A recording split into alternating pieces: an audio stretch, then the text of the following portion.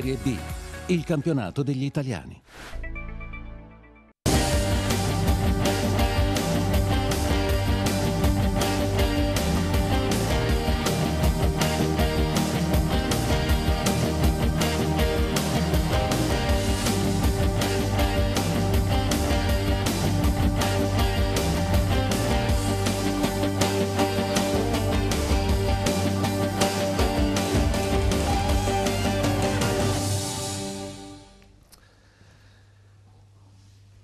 Buonasera, un nuovo numero di replay dopo quattro giornate di campionato, nuovamente delusione negli ambienti sportivi del Pescara, la sconfitta di Cittadella ha messo in evidenza ancora molte lacune per questa squadra, domani si torna in campo, la Serie B per la quinta giornata propone questo incontro casalingo con il Latina, il Lanciano sarà di scena a Brescia, ma come ogni lunedì cercheremo di analizzare un po' il momento del calcio pescarese.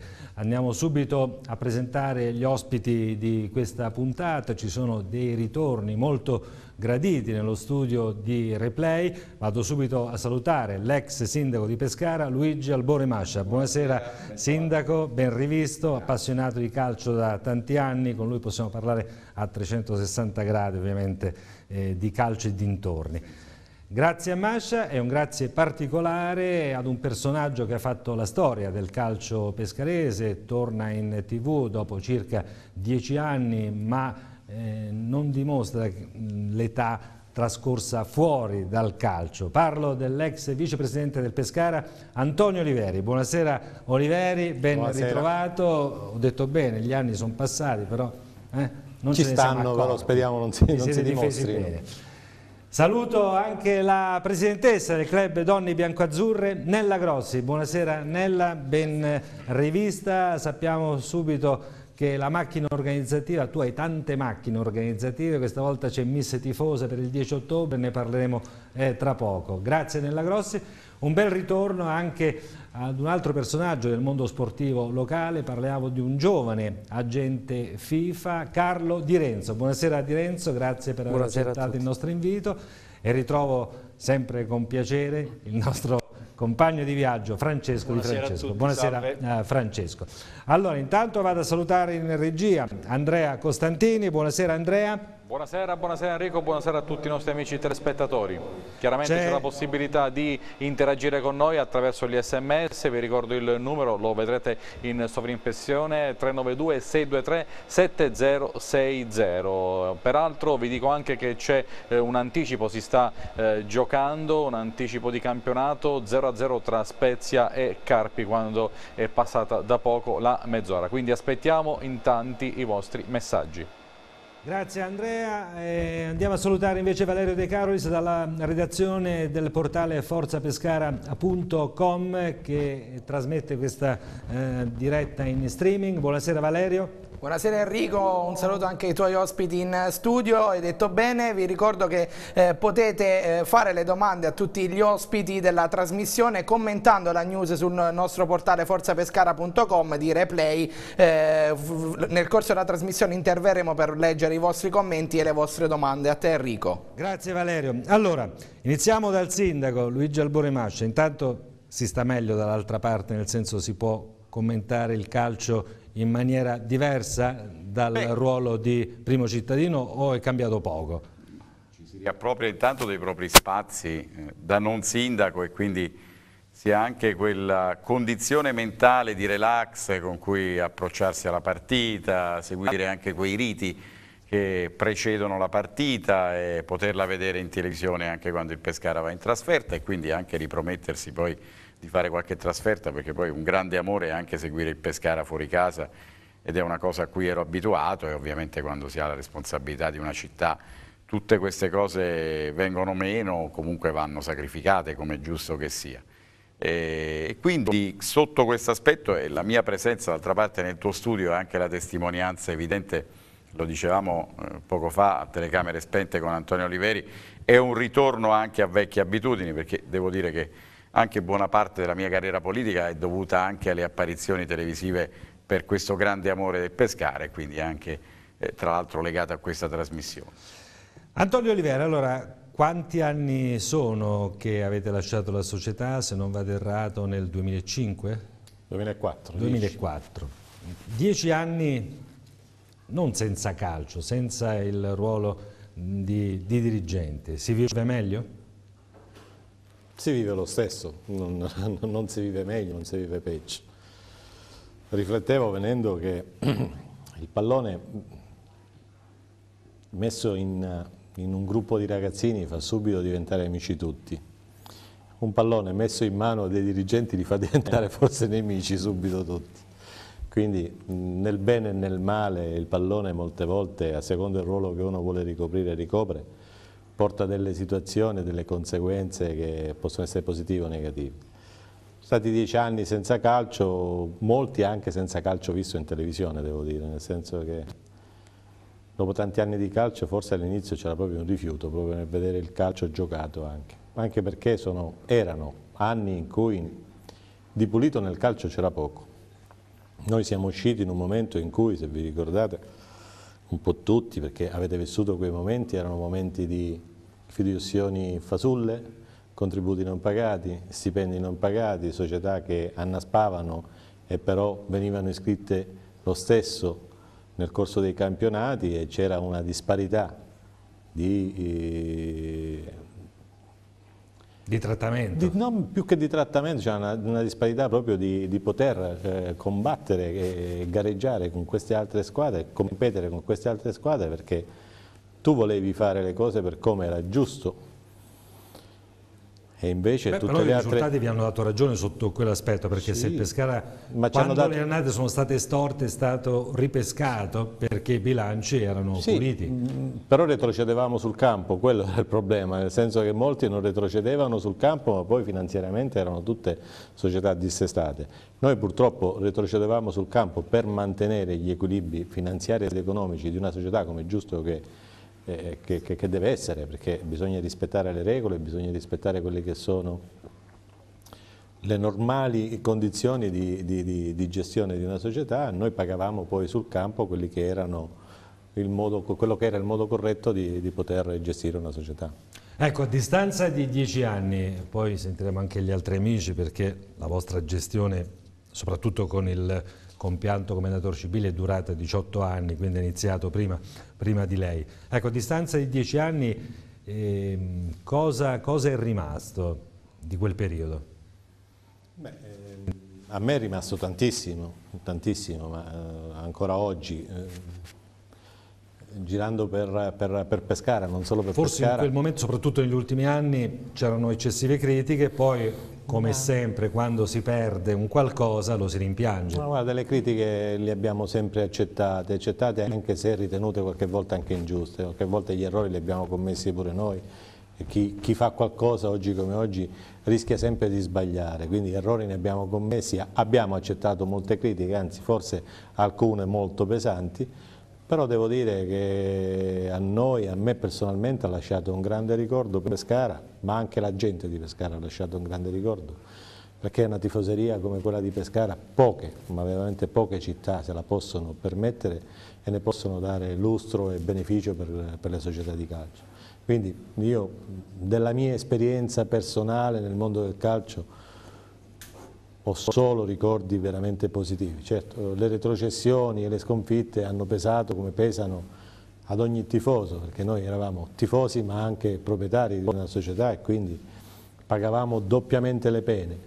Però, devo dire, insomma, sono molto più i ricordi positivi che quelli negativi sicuramente. Ecco, adesso coinvolgiamo tutti gli amici, mi perdonate se vi do del tu perché siete veramente degli amici da decenni, quindi Luigi, ti ricordi, proprio in quel periodo facciamo trasmissioni insieme, tutte le turbulenze, i momenti belli, le promozioni, però è stato un periodo chiave nella storia del calcio pescarese e loro sono stati veramente tenaci anche nei momenti di grossa difficoltà e di critiche, se vogliamo, eh, severe. Sono stati due grandi personaggi, il commendatore è stato un grande personaggio del calcio pescarese che ha lasciato un ricordo ancora vivo e anche a chi contestava in maniera anche feroce, io ricordo anche striscioni, invettive, offese che ferivano striscione lì era fisso, quindi... profondamente il commendatore anche dal punto di vista umano, però poi come succede, succede in politica, succede in tante circostanze,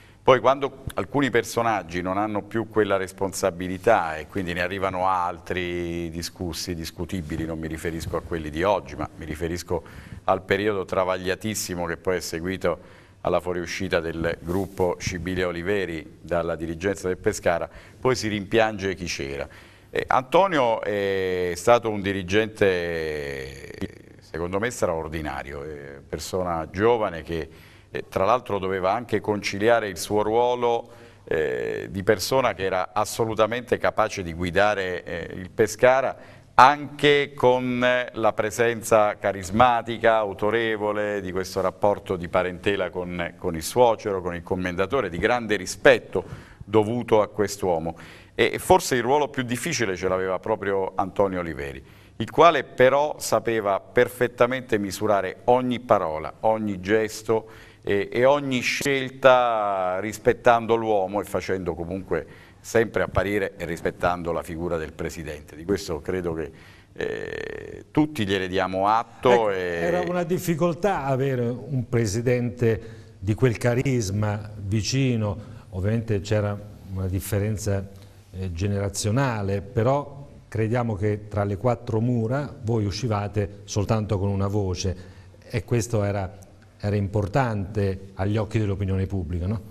Sì, io non, non, non, lo, non, la giudico una difficoltà, per me è stata una fortuna poter avere un uomo sì, certo, certo. Dal, dal, carisma come, come, mio suocero, dalla, dalle capacità e dalle eh, intuizioni, intuizioni, anche, anche non solo sportive ma anche imprenditoriali devo dire. Ma imprenditoriale sicuramente di più. Perché... Quindi, quindi, per me è stata una fortuna. Certo, eh, eh, eh vivevamo due situazioni completamente diverse perché venivamo da generazioni completamente diverse, quindi in alcune occasioni non eh, erano condivisi i pensieri miei con, con, quelli di mio suocero e viceversa, ma alla fine nel momento in cui si doveva decidere prendere una linea, quella linea si portava, si portava fino alla morte a prescindere che la linea era dettata da mio suocero, che la linea era suggerita da me, insomma, ma questo mi pare che è stato poi quello che si è verificato nel corso di tutti questi anni. Insomma. Vorrei sentire anche gli altri amici, allora partiamo da te Nella che hai seguito passo passo, eh, il commendatore eh, tutta, tutta la, la, fila cominciando Quanto da... rimpiangi quel periodo? Il periodo è stato bello, con quelle belle promozioni, con quella, quella cosa familiarità, tutto che c'era nel mondo del calcio, è stato tu in quel periodo litigavi anche con gli ultra che contestavano? Perché che contestavano, mi sono, presa anche due, mi sono presa anche due treni di striscioni, se ben ti ricordi, con tutte le parole parolacce che si possano dire a una donna, eh. però insomma sono passati ben 20, quasi 25 anni, però io sto ancora qui e chi l'ha scritta e chi l'ha fatto fare è scomparso completamente, perciò bisogna essere tenaci, bisogna andare avanti, bisogna crederci, noi come nel pescare noi ci crediamo e rimpiangiamo dei grandi uomini che abbiamo avuto la cosa cominciando dai marinelli, ecco, per andare proprio a fare la storia, poi dei nostri locali, Scibiglia, che ci scordiamo ricordiamo quando hanno fatto il comune, che, che è stato, che ha fatto spostare l'azienda, la, la, li hanno chiuso, gli hanno fatto cose, e poverino è, è, è, resistito, noi queste cose non ce ne scordiamo, non ce ne possiamo scordare. Adesso eh, noi eh, ringraziando Dio abbiamo ancora cose locali e noi crediamo in loro e speriamo che solo... Adesso arriviamo anche ai tempi nostri. Eh, ai tempi nostri che... Eh. Era ancora un tifoso, eh, dopo ha intrapreso questa strada professionale di agente FIFA, però i ricordi restano perché non è stata una parentesi, è stata una storia lunga di 18 anni. Quindi... Poi anche a livello tecnico loro hanno portato dei calciatori straordinari qui a Pescara, Junior, Zi, eh, Tita, Sliskovic. Eh, per noi che eravamo ragazzi Dunga, cioè, eh, per noi ragazzini sentire quei nomi era qualcosa di straordinario. Borgonovo, Borgonovo. Borgonovo, sì. Borgonovo. Sì, cioè, sì. hanno portato dei giocatori straordinari, affermati, che oggi sembrerebbe quasi impossibile portare un giocatore a pescare. Francesco, tu sei troppo amico per poter eventualmente... Eh, ti volevo far criticare, ma come fai tu a criticare? Non l'hai mai fatto nei tempi Eh, passati, abbiamo avuto, oggi, abbiamo avuto difficoltà. No, prima riflettevo che lui... Eccolo eh, il caro commendatore Cibile ai microfoni di Mimmo Logozzo, ricordate Mimmo Logozzo, è capo del TG3 Sono immagini di un'era di un'era fa, di un, una vita fa. No, ti chiedo, ecco, dall'esterno, in cosa sbagliava Pescara nel valutare l'operato di questa società? Secondo me l'errore principale, intanto volevo sotto, sottolineare così, perché facevo una riflessione prima quando sei intervenuto tu. Eh, Antonio nel primo intervento ha parlato un paio di volte, no, la solidità finanziaria, però poi c'erano le retrocessioni, se in quel momento uno si, si, è sintonizzato e dice mazzo questi sono retrocessi sempre, mentre ci sono anche tanti, tanti successi che lui intelligentemente non ha ricordato perché se li ricordano tutti.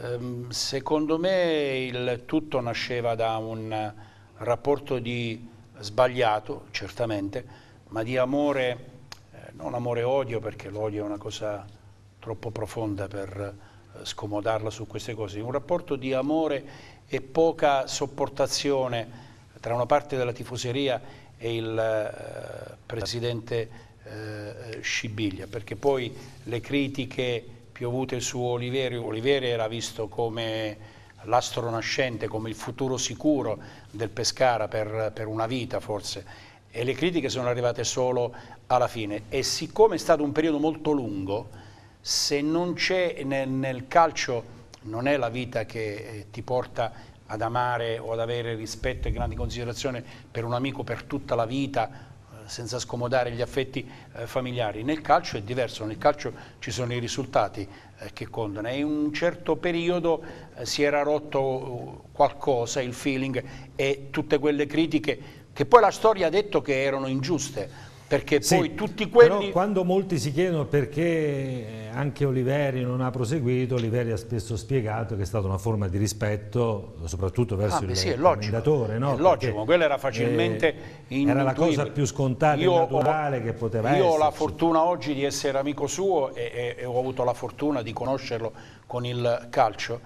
E, io ho sempre capito, che, intuito, ecco, diciamo, forse in modo più esatto, che lui non sarebbe mai rimasto nel calcio senza il eh, commentatore certo. civile, proprio per una forma di rispetto e anche se lo avesse voluto fare, magari spinto da qualche affetto eh, familiare, spinto da qualche amico, in quella situazione non l'avrebbe certamente fatto, così come non l'ha fatto. Ripeto, ma poi è davanti agli occhi di tutti, è la storia poi che ha rivalutato questi personaggi, ammesso e non concesso che eh, ci servivano certi eventi negativi per eh, apprezzare quello che avevano fatto per tanti ecco, anni Scibili Oliveri. E poi ovviamente la società non l'avreste data nelle mani di Dante Paterra, oppure qualcosa non ha funzionato nella gestione successiva?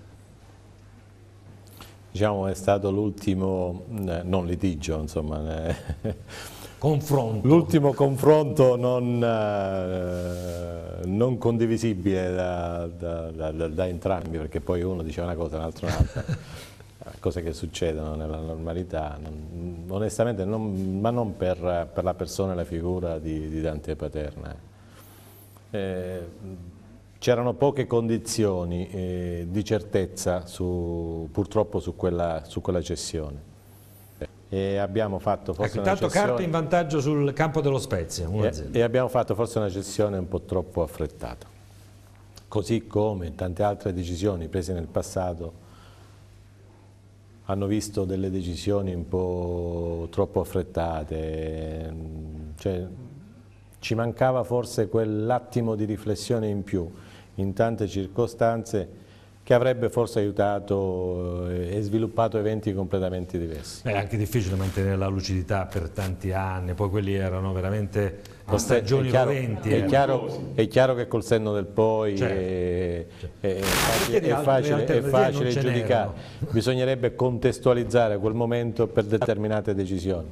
Eh, Iaconine è testimone, nel senso che è stato uh, con noi fino all'ultimo giorno e poi ha proseguito nel suo incarico con la nuova società, ma ha vissuto questi momenti di, eh, di decisioni diverse, per tempi e modalità un po' diverse devo dire. Mi viene da pensare che Oliveri purtroppo non c'è più il commendatore Scibiglia, uh, uh, Antonio Oliveri è l'esempio vivente di uh, come bisogna apprezzare e tenersi ben stretti eh, quando faccio queste affermazioni ci sono amici che mi dicono che sono diventato troppo buono, tenero, eh, morbido. anziano.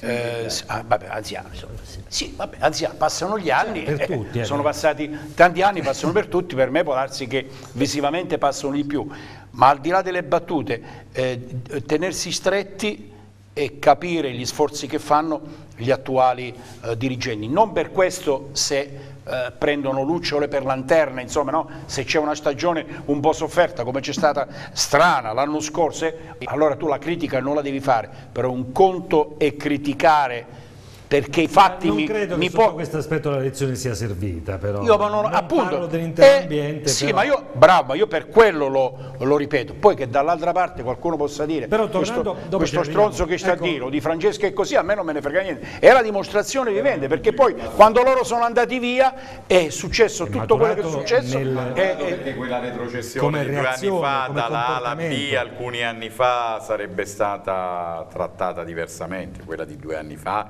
ma non c'è paragone a livello di in altri tempi di, è di successo che fossero eh, ci mancherebbe sotto questo aspetto no volevo chiederti in quel periodo sono iniziati i veri guai per la società del Pescara con Paterna eh. e con tutti io gli ricordo altri. proprio le trasmissioni eh. con i titoli più disparati dove eravamo diventati tutti commercialisti eh, arrivavano gli aerei e arrivavano gli arabi e veramente furono, furono anni davvero bui io mi sono poi sempre chiesto, e visto che c'è qua Antonio, ma lui ovviamente sarà molto diplomatico, ma se fosse stato il commendator Scibili a fare un passo indietro e fosse stato lui eh, a creare il ricambio generazionale quindi a creare le condizioni per un avvicendamento con Antonio, quindi questo rispetto di Antonio Oliveri derivava dalla presenza continua del commendatore. Se fosse stato il commendatore lui a dire io ho un genero bravo e a questo punto, o magari in un pranzo domenicale questo potrebbe anche essere successo e noi non lo sappiamo perché magari la famiglia si è ritrovata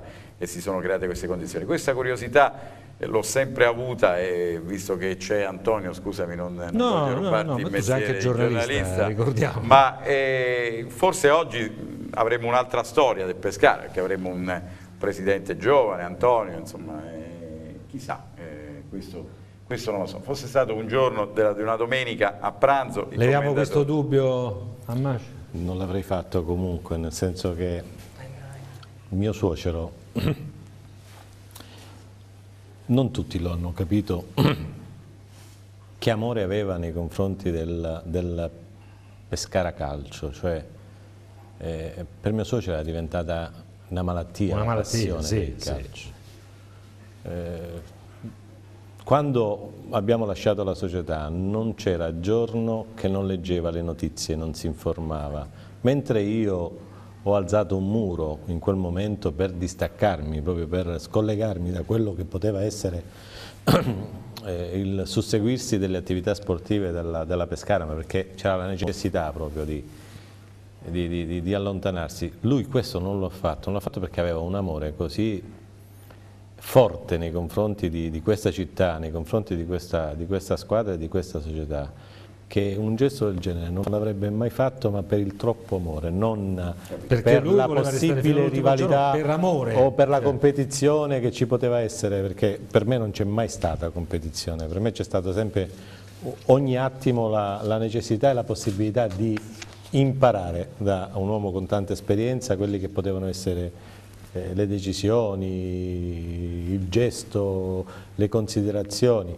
E ho sempre salvaguardato il fatto che era il nonno dei miei figli, quindi in, in, primo, in primo, piano c'era solo e esclusivamente quel pensiero, perché mai e poi mai avrei potuto fa, fare qualsiasi cosa o decidere qualsiasi cosa eh, mettendo, non a rischio, ma insomma mettendo eh, in difficoltà il rapporto Beh, che ci poteva essere. E comunque, che idee vi siete fatti ehm, sui vostri eh, dirigenti che si sono poi eh, alternati su quella poltrona? Cioè, Vabbè, Paterna era questo, poi il gruppo Pincione, il gruppo Soglia. Non nominiamo, cioè, dai, molto per ma io, periodo, dai, io farei un salto e arriverei ad beh, oggi. bravo, facciamo sto salto per Arriverei ad oggi perché sarebbe, Facciamo sto salto, arriviamo sarebbe, sarebbe agli attuali, troppo, carità. troppo facile inferire perché non- io arriverei ad oggi e oggi nonostante Che poi di quella cordata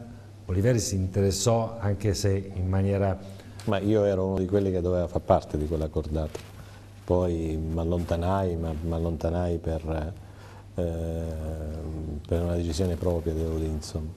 Eh, ma ero, diciamo, non dico l'idea è partita da, da Antonio Oliveri, ma insomma l'idea è nata pranzando con alcuni amici che forse ancora oggi fanno parte della, della società. sono tutti personaggi che conosce, no? Assolutamente sì. Eh, io oggi, lo diceva Francesco prima, io farei un plauso a questa società, nel senso che oggi non è facile fare calcio, bisogna anche qui contestualizzare i momenti che stiamo vivendo eh, del paese, ma non solo del paese Italia, della- della- della- del mondo in generale e oggi fare calcio con un calcio che non è cambiato, perché la cosa più brutta, guardate, ve lo dico e lo dico oh, da uomo che mai sta al di fuori del calcio. Il calcio è rimasto indietro di vent'anni, il calcio speriamo con la nuova presidenza della Si federazione parla di queste riforme, però sarà difficile. eh. partano queste benedette riforme e, e risistemino il mondo del calcio, perché il mondo del calcio che attualmente c'è è un mondo imperfetto, ma completamente imperfetto, manca di, di basi, manca di, di fondamenta importanti per poter fare calcio per poter mantenere il calcio in ogni singola città, che poi la città possa essere Pescara o, o- o Milano o, o Torino, però manca di quelle riforme necessarie e fondamentali secondo me per poter fare calcio in prospettiva, non fare calcio di anno in anno, perché qua stiamo facendo calcio di anno in anno. Ecco, io colgo l'occasione perché qui abbiamo un agente FIFA come Carlo Di Renzo e molte volte anche la vostra categoria viene chiamata in causa, no? Eh, perché criticata in continuazione. viene criticata, io ho usato un termine più leggero. Ecco, mh, cosa c'è da correggere nella vostra categoria nel rapporto con le società, con i giocatori? Perché molti allenatori vengono condizionati spesso eh, dai procuratori. È vero questo? Ovviamente non, non è il caso Di Renzo, o perlomeno non è un discorso che faccio per Di Renzo, ma può essere questa una difficoltà? Io penso che innanzitutto bisogna conoscere la categoria per dire questo, nel senso che la prima cosa che bisognerebbe fare è quella di regolarizzare il rapporto tra gli agenti e la federazione, perché ad oggi eh, la- gli agenti devono eh, stare alle regole della federazione, però non possono eh, usufruire di nessun vantaggio della federazione. La verità è proprio questa. Cioè oggi se un giocatore firma un contratto e ha un contenzioso con una società, la federazione interviene e le società devono garantire le videosioni. A noi non ci garantisce niente nessuno, nessuno, dalla federazione fino ad arrivare alla FIFA. Noi siamo dei liberi professionisti che ci mettiamo in macchina, affrontiamo spese, tutto ciò è tutto aleatorio, è tutto da verificare. Poi è anche vero che ci sono degli agenti che hanno una forza calcistica importante che riescono ad imporre a qualche società, però io penso che il Presidente eh, è qui presente, io penso che lui non abbia mai preso un giocatore perché è stato imposto da un agente, magari eh, ha più fiducia di qualche agente a differenza di altri, Eh vabbè, perché magari nella quel, normalità. quell'agente gli ha fatto in passato gli ha dato oh, sempre dei giocatori giusti, però eh, la verità è che la prima cosa che bisogna fare è regolare il rapporto tra gli agenti e la federazione, perché senza di questo non si può. E qui rientriamo sempre nel discorso delle, Delle riforme, che del cambio. dovrebbero, però molte società ora si stanno adeguando o stanno pensando di adeguarsi con le strutture, con gli impianti di proprietà, con eh, il rafforzamento dei settori giovanili, no? sono queste probabilmente le prime mosse per salvaguardare i club, no Luigi? Sì, senz'altro, ma, ma leggevo questa notizia veramente sconcertante quindi penso che poi le riforme, a parte che l'Italia è un paese che ha bisogno di riforme sotto tutti gli aspetti, non solo quello del calcio, quindi è l'argomento di tutti i giorni. Quelle sono ancora più complicate, eh, quindi. un notiziario, ma stavo pensando che le riforme servono anche a livello internazionale, ma ci sembra normale che una squadra come Real Madrid che ha vinto la Coppa dei Campioni abbia 650 milioni di euro di debiti. È facile così vincere la Coppa dei Campioni, è facile così affrontare la Champions il League con i grandi campioni. Oliveri, certo, il campionato le dinamiche non sono solo italiane, sono internazionali, non è più possibile. Allora questo benedetto fair play di cui si parla da tanti anni, fair play È anche amministrativo. la società che ha il maggior fatturato al mondo. E ho capito, ma 650 milioni di euro di debiti che sarebbero praticamente ammortizzabili in 20 anni attraverso 500 milioni di euro che deriveranno dal cambiare la storia di una città e di un, di un tempio del calcio mondiale che non si chiamerà più Santiago Bernabeu ma si chiama Abu Dhabi Stadium, cioè sono cose eh,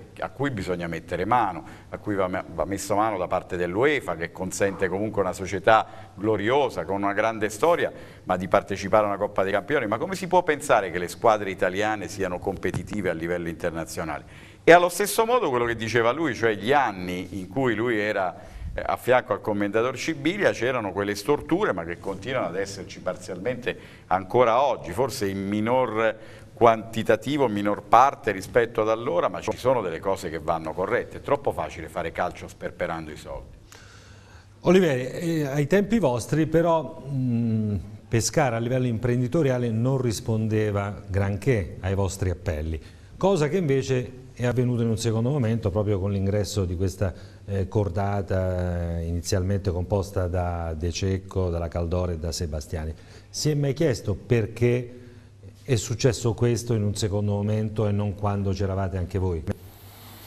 Vabbè, gli anni probabilmente fanno maturare poi nelle decisioni le persone, diciamo che noi per quanto in determinati anni abbiamo fatto e chiesto anche eh, aiuto alle amministrazioni nel cercare di allargare la nostra base sociale, devo dire non c'è stato questo, questo, interessamento da parte dell'imprenditoria pescarese, probabilmente l'imprenditoria pescarese in quel momento non era, non era, pronta, non era matura. O si fidava di voi, quindi oh, oppure, oppure tanto no. ci sono loro. Sì, vabbè, diciamo che noi non ha, cioè, accettavamo di buon grado oh, l'ingresso di, di, di, di, nuovi imprenditori, di nuova gente che voleva dare linfa e, e lustro a questa, a questa società, però questo evento non c'è stato. Io mi ricordo i primi anni quando, quando entrò il mio suocero, io ancora non ero in società, anche se vivevo eh, dall'esterno le questioni societarie, c'era una società un po' allargata, lì eh, poi eh, si restrinse subito questa società, l'ammorbidente non fu usato proprio per niente in quel lavaggio perché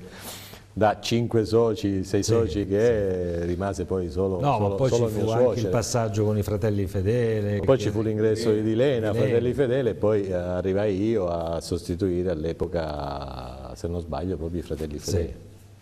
Quindi insomma... L'ingresso che, al quale ti riferivi tu dei, de, della cordata che poi sta garantendo sì. il calcio partendo da uh, De Cecco, Caldora e Sebastiani, poi lì anche con, negli ultimi anni eh, ci sono stati vari avvicendamenti, evidentemente la paura di, di morire deve aver spinto qualcuno a spingere alle spalle questo imprenditore ad entrare, io non faccio nomi perché non li so, se sapessi i nomi, sapessi i fatti li direi tranquillamente. Di certo è stata un po' tutta Pescara che ha avuto paura di finire perché Beh, lì, lì, stava per, diverse, però. lì stava per scomparire quindi per eh, quello il fallimento, so, il fallimento è stato quello che ha aperto appunto, tutto appunto, eh. noi eravamo considerata una società anomala nel senso che eravamo due persone di famiglia quindi non eravamo due soci e noi eravamo due figure che gestivano la società ma eravamo visti in un'unica persona poi alla fine l'inserimento di un terzo socio spaventava molte volte l'imprenditore. Anche l'autorità del commentatore voi, forse. Avete anche eh, ritenuto una società forte, quindi forse certo. molti pensavano ma tanto che entro a fare, loro sono già forti, non hanno bisogno, cioè la comparsa forse non piaceva ai più piccoli, è un sistema di società diversa. Eh, sì, sì, evidentemente poi come ha detto lui forse sono maturati i temi, ma ripeto, secondo me il tutto è avvenuto perché eh, stava per finire il, ca stava per finire il calcio a pescare, quindi composta. forse la telefonata del, eh, dell'amministratore, del politico, de, de, del sindaco, del presidente, di chiunque esso sia, a, a determinati ai imprenditori che poi sono entrati, magari c'è stato. Io non, so, io non credo che sia no, stato questo il movente, io credo che ci sia stato un anche Il movente è stata la paura di finire delle proprietà dei, dei, di, di, personaggi sì, di Pescara sì. che in qualche modo hanno capito appunto, quello paura... che dicevi tu, cioè che il baratro era vicino, che Pescara ri, rischiava l'estinzione eh, o quantomeno un oblio nel mondo del calcio e quindi sono scesi in campo e bisogna essergli grati. Io non credo che la politica lì abbia fatto sì, anche perché forse non penso volta, di sbagliare. No, anche perché una volta la politica era in grado anche no, di garantire l'impresa. A livello di sollecitazione, a livello di immagini al tribunale dove succedeva un po' di tutto, il Pescara che tornava ai pescaresi poi gli stessi dirigenti si sono alternati perché non c'è più la Caldora, non c'è più... Vabbè, ma io credo che sia, che sia nel, più, che ne, ecco, più che fisiologico nel gioco delle parti, è, nel, è nella cosa naturale di, di, di situazioni del, del, genere, perché intanto far andare d'accordo 4, 5, 6, 7 persone, quanto più si vogliono stimare, quanto più vogliono essere eh, amiche, quanto più vogliono essere eh, coinvolte anche oltre il calcio, non è facile farla andare ecco, eh, d'accordo. Quindi però fa una selezione. Cioè, molti sono tornati dove, dove, stavano prima, altri sono rimasti, altri sono entrati. E proprio per quel Però discorso che ti stavo facendo adesso. La vita societaria sì. non è facile, no? No, in effetti io lo accennavo prima, bisogna fare un plauso all'attuale dirigenza che ha mantenuto e sta mantenendo la società, eh, devo dire, insomma, con grossi sacrifici dal, dal mio punto di vista, almeno eh, da quello che posso vedere e giudicare dall'esterno, quindi poi è vero, i risultati eh, non vengono, le problematiche, la partita vinta, la partita persa, eh, queste sono, se vogliamo, importanti ma nella importanza della, della, del mantenimento della società e della categoria, alla fine forse sono dettagli. Eh? Eh, sono dettagli, però il tifoso vuole vedere solo se la palla entra in rete, no? alla fine quello vi condiziona perché l'umore dell'ambiente si ripercuote sulle strategie probabilmente. Quello condiziona ma non dovrebbe far decidere, cioè le decisioni devono venire per altre motivazioni molto più importanti e molto più distaccate dal momento sportivo limitato al, Però al risultato. lei era diverso dal commendatore che probabilmente eh, si faceva non condizionare, cercava di accontentare un po' anche la tifoseria, quindi doveva pensare al bilancio, doveva pensare a accontentare il tifoso che rivoleva Galeone, tutte queste storie. No? Ho sposato la filosofia di una brutta verità, ma sempre la verità. Cioè invece di una bella bugia che poi dopo 15 giorni, 20 giorni mi ritornava indietro eh, senza nessuna giustificazione. La brutta verità magari non accettata in quel momento dal tifoso, ma era quello che si poteva fare e quello che si poteva mantenere. Perché alla fine almeno c'era la coerenza di dire le cose per come stanno. Certo. Bene, abbiamo fatto un po' di revival, adesso andiamo in pubblicità e parliamo del presente, anche perché domani si gioca questo campionato di Serie B sempre eh, lunghissimo, sì, soltanto quattro giornate di campionato, ma qui già si fanno i primi bilanci, già eh, si parla di ultime spiagge, quest'ultima spiaggia a Pescara da tempo è stata consumata. Andiamo in pubblicità e poi torneremo in studio, a tra poco.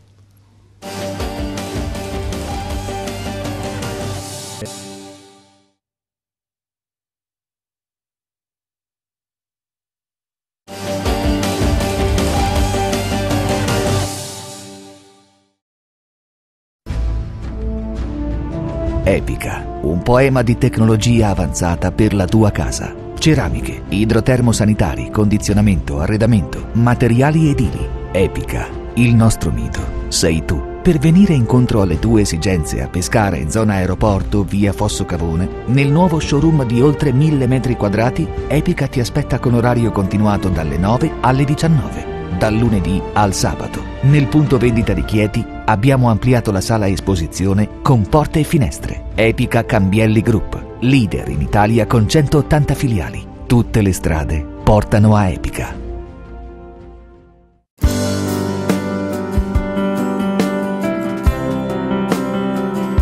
Le linee e le tendenze mutano con il passare del tempo. Cogliere i cambiamenti soddisfare le nuove esigenze. Sono le qualità che fanno di Di Paolo Arredamenti il riferimento nel mondo dell'interior design. A Montesilvano, Di Paolo Arredamenti è esposizione di elementi d'arredo e punto vendita ufficiale Poltrona Frau. È un mondo dedicato alla comodità e alla qualità che solo un grande marchio può darti. Di Paolo Arredamenti ti aspetta a Bellante in via Sant'Arcangelo 120, a Teramo in via De Gasperi 45 e a Montesilvano in corso Umberto 590.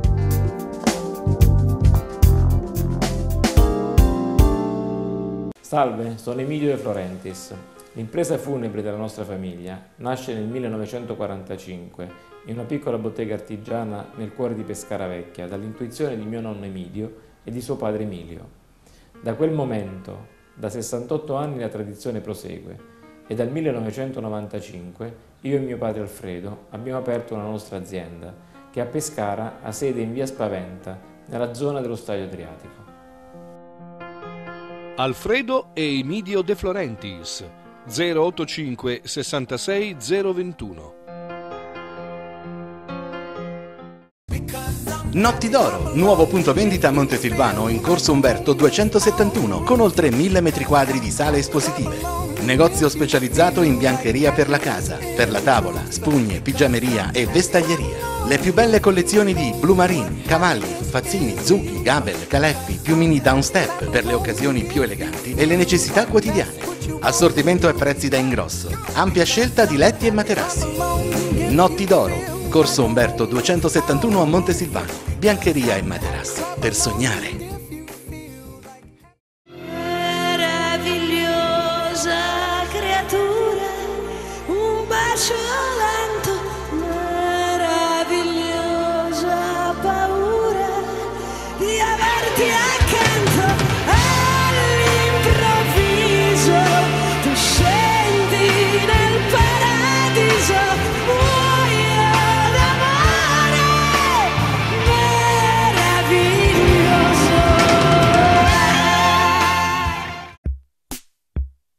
La DZ opera nel settore assicurativo, finanziario, immobiliare e ricreativo. La DZ Insurance Sport di Dino Zampacorta da oltre 20 anni specializzata nell'assumere rischi sportivi per atleti professionisti, consulenze assicurative e finanziarie, risarcimento danni di qualsiasi genere. DZ Insurance Sport ha sede a Santa Teresa di Spoltore con filiali a Rimini e Brescia. La DZ Immobiliare vende, acquista e costruisce in tutta Italia. A Francavilla al Mare, via Francesco Paolo Tosti, sta nascendo il Residence Magnolia, di fronte al mare appartamenti prestigiosi, classe A energetica. E per divertirti, festeggiare o giocare a Santa Teresa di Spoltore troverai l'Isola di Z. Feste di compleanno, feste di laurea, per ricordare i tuoi 18 anni, scegli l'Isola di Z.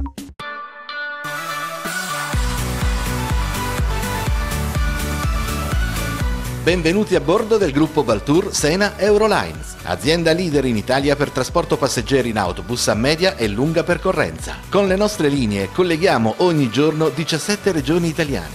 23 nazioni europee, oltre 500 destinazioni, trasportando oltre 4 milioni di passeggeri l'anno. Consulta il sito www.baltour.it e compra i tuoi viaggi low cost a partire da 5 euro. Baltour, Sena ed Eurolines vi augurano un buon viaggio.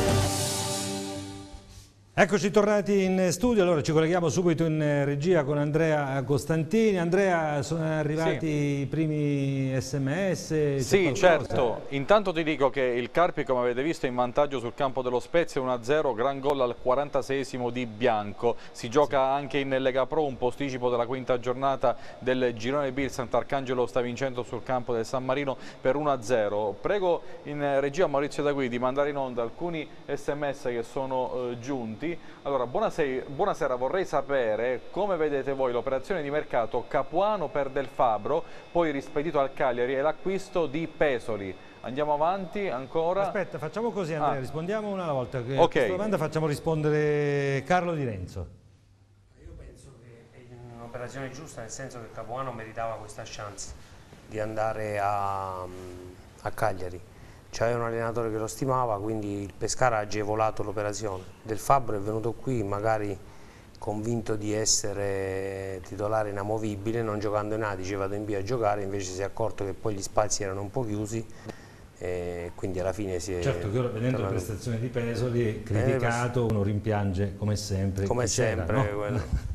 La faccio subito la domanda o dopo? Dopo, sentiamo Va un altro bene. messaggio su Pesoli, ne Eh sì, parliamo voglio più sapere tardi. se è arrivato preparato, se, se il gemello del Pesoli del quale si parlava, perché può darsi pure che qui è arrivato il gemello che fa il tubista e quindi no, perché il Vabbè. Pesoli che stiamo vedendo, tutto sembra fuorché il giocatore che si conosce, no? Andrea. che, che dava certe garanzie. Abbiamo intravisto prima eh, il secondo messaggio per eh, Antonio Oliveri, il momento più bello e quello più brutto della sua esperienza nel Pescara. Oliveri, momento più bello e momento più brutto. Beh, il momento più bello sono quelle delle promozioni sicuramente, il più brutto la cessione della Pescara Calcio, quello in dubbio. Ok, ancora un altro. Se domani non si vince bisogna esonerare Baroni, che ne pensate? Luigi Alborimascia. Ci siamo lasciati prima della, della pubblicità eh, sul fatto dell'ultima spiaggia e io, io non sono d'accordo, poi non voglio anticipare i temi della seconda parte della trasmissione relativi all'attualità e quindi a questo Pescara. Non sono d'accordo perché ritengo Baroni un ottimo allenatore, perché ritengo che siano state fatte bene le cose in questo eh, mercato estivo e anche nella coda del mercato estivo, nella parte finale. Ritengo che il Pescara ha bisogno di tempo e quindi ha bisogno di tempo Baroni, dobbiamo stare tranquilli, sereni e aspettare come hanno aspettato a Palermo lo scorso anno e poi il Palermo è esploso, come stanno Francesco non è aspettando. d'accordo. No, no, sono, sono d'accordo, però Baroni dovrebbe già dare almeno 743 risposte, a cominciare da quella buffonata di più, aprire eh, ai tifosi solo il lunedì. In, in situazioni del genere si crea calore, sì, si crea calore, partecipazione, complicità, eh, simpatie, tante volte nel calcio chiedo a Antonio Oliveri, conferma se, se dico una fesseria, tante volte eh, se, se- se sei simpatico, se c'è partecipazione, Ma sono sempre i se c'è, sì, ma se c'è complicità, sei portato anche ad aspettare un momentino di più, Pure o no? Cosmi era simpatico. Eh? Pure Cosmi E infatti, e no? infatti, e infatti Cosmi che non ci ha dato nulla e nessuno gli ha detto No, e era appunto. Sì, può darsi che lui abbia bisogno un po' di concentrazione, vuole tenere un pochino la squadra. abbiamo Eh, so, ah, ma- Eh, ma- gli sì. allenamenti a porte chiuse? Eh? Parli per gli allenamenti a porte chiuse, ma adesso sono stati riaperti Sono cancelli state due, aperte. Solo il lunedì mi hanno due detto. giorni No. alla settimana. Ah, due alla settimana? Eh, si deve pure Andrea? cercare. Leggiamo un altro oh, messaggio, poi Enrico prima di eh, passare da Valerio per forzapescara.com ti dico qualcosa sui convocati di domani. Non facciamo altro che prendere gol, ma perché Baroni non prova la difesa a tre? Si chiede questo telespettatore e comunque Enrico ti aggiungo che nella lista dei convocati diramata poche ore fa dal tecnico eh, Baroni eh, non c'è ehm, il centrocampista Appel Pires, sembra per scelta tecnica e se riusciamo qui a vedere eh, i centrocampisti convocati sono Guana, Lazzari, Nielsen, Bjarnason e il giovane Selasi. Eh, scelta sì, tecnica. Eh, sì, eh, non ci sono eh, Salamon e Maniero, mentre si rivede tra i convocati Gianluca Caprari che però dovrebbe partire dalla eh, panchina. A te. Allora, per la difesa a tre, Carlo Di Renzo. Io penso che lui sta iniziando dall'inizio dell'anno che lavora con la difesa a 4, anche l'anno scorso giocava in quel modo, probabilmente non so credo. È chiaro che alla luce degli errori fatti uno dice perché non prova la difesa a 3, dobbiamo avere anche gli uomini poi per eh, i due terzini, insomma, abbiamo i terzini per giocare a 3, sono i terzini a 3, davanti abbiamo i giocatori poi che sono bravi a fare tutte e due le fasi, secondo me eh, è, è prematuro questo, a me l'unica cosa che mi Raddoppio del meraviglia- Enrico. Sì, 2-0. L'unica alla cosa Spezia. che mi meraviglia, ho sentito la conferenza stampa di oggi dove eh, lui dice che eh, principalmente è un atteggiamento mentale della squadra, quello di prendere tutti questi gol. E se un 94, un 95, un 96 sbaglia quello che ha sbagliato Pesoli, gli viene detto che non è pronto. Lo sbaglia Pesoli, si dice un atteggiamento mentale. Io penso che invece bisognerebbe eh, trovare... Allora, facciamo una cosa, vogliamo andare a sentire subito qualche passo della conferenza stampa di oggi di Baroni, così ci regoliamo anche, Perfetto. ti rende un po' la situazione la più considerazione chiara. che eh. ha fatto lui, è perfetto. Andiamo a sentire Baroni, dopo torniamo dalla Al redazione di Forza giovane Pescara. quell'altro è mentale, sì, è mentale.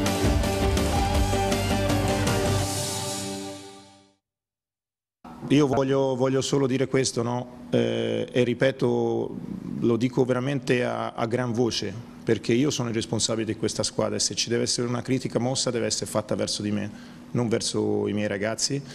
In campo si sbaglia, si può sbagliare, in questo momento c'è, necessità di un gruppo che cresca, passeremo da degli errori, questo lo so, però in questo momento io voglio rafforzare la posizione di tutti i ragazzi perché siamo in costruzione e abbiamo bisogno di non perdere nessuno.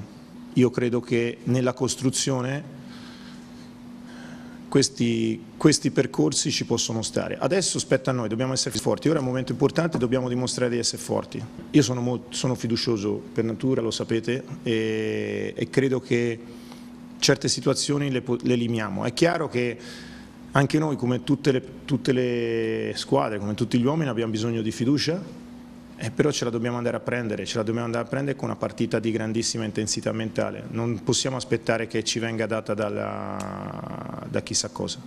Ma in Latina mi aspetto una squadra, una squadra tosta, una squadra costruita con dei criteri dove ci sono giocatori di grande esperienza, eh, ci sono dei, dei giovani talentuosi, ma ripeto, l'abbiamo visto oramai, abbiamo, abbiamo l'esempio di queste quattro gare, io guardo, guardo il Latina con grandissimo rispetto perché mm, l'allenatore è bravo, insomma c'è, c'è un gruppo che ha, ha sfiorato la Serie A a 45 minuti, dal, eh, era, era in Serie A, ma noi dobbiamo guardare a casa nostra, se guardiamo gli altri non costruiamo niente, dobbiamo guardare molto a casa nostra.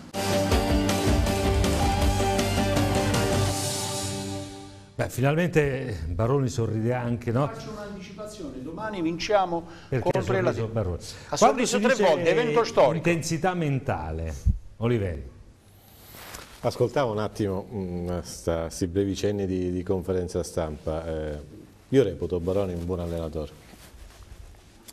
però mi è parso di, di intravedere un atteggiamento da già troppo nervoso, troppo, troppo nella difensiva, nel senso che sta, sta già forse aggredendo per non essere aggredito.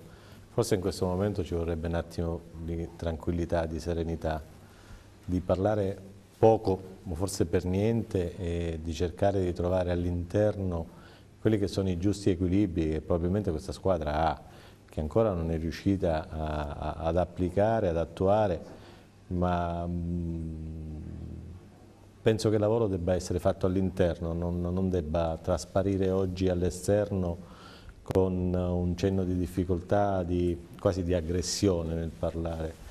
Visto un atteggiamento, io non lo conosco, non lo posso giudicare, l'ho sentito te- televisivamente qualche volta, quindi qualsiasi giudizio è- può essere completamente No, no, inesatto. no, Però di la- lettura. l'atteggiamento deve essere forse un po' più, più tranquillo e forse la società glielo dovrebbe in questo momento oh, dare Rafforzare. e rafforzare. insomma. Allora, chiedo un po' a tutti, eh, la vostra gestione per quanto riguarda gli allenatori, eh, gli stessi tecnici hanno pagato molto il dopo Galeone. C'è il rischio, anzi c'è sicuramente il rischio che molti tecnici adesso stiano pagando il dopo Zeman?